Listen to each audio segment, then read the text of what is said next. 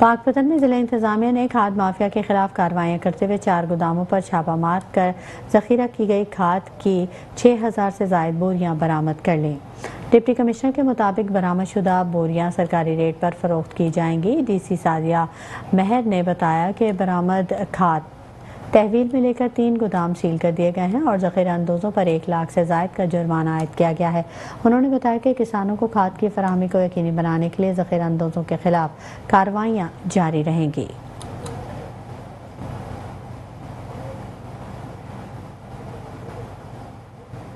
Jannat Eid